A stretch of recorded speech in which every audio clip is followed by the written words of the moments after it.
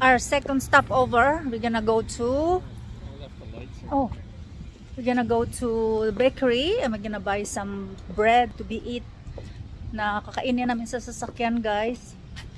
Yung nakalimutan ng asawa ko yung book. Isara yung sasakyan. Uh, what's this here? Please check in. Uh, burger. Darling, can you bring my mask?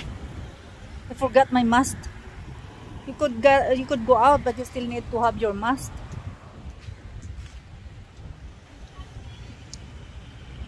Forgot my mask.